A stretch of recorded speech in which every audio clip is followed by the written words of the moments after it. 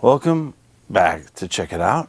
My next guest is someone who deals with the health of your spirit. Welcome, Hippy Joel. Thank you. Tell us about spiritual healing.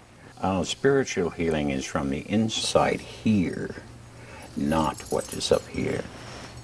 This is your destroyer. Destroyer. Yes. I can probably give you a short prayer uh, that would help you. You can repeat it as I go. Okay. O ruler of the world, O ruler of the world, be kind and gentle, be kind and gentle, for I know not where to go. for I know not where to go.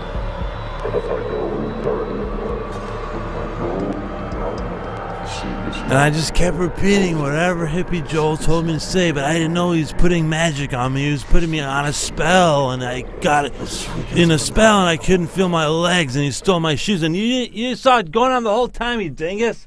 Why didn't why didn't you say something? He took my shoes. Yes, he did.